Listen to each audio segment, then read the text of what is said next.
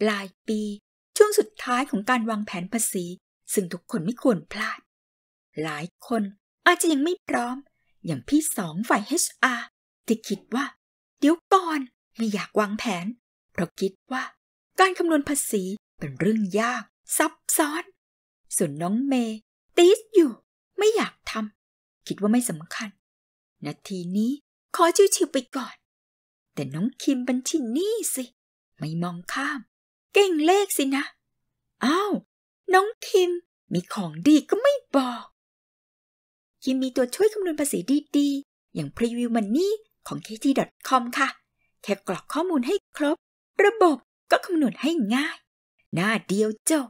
เริ่มต้นจากการกรอกรายได้ทั้งปีลงไป อืมแปดแสนบาท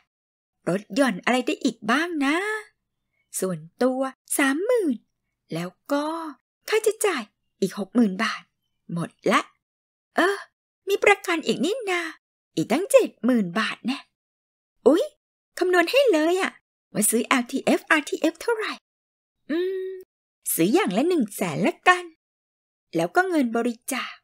อะ เสร็จแล้วก็คำนวณเลย โอ้โห ประหยัดไปตั้งสามหมื่นห้าแน่ ปีหน้าก็ได้เงินภาษีคืนแล้ว เอาไปทำอะไรดีนะ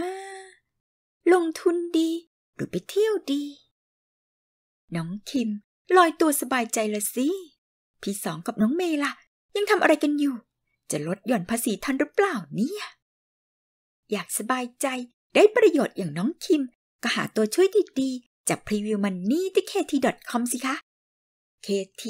เรื่องเงิน เรื่องง่าย หายห่วง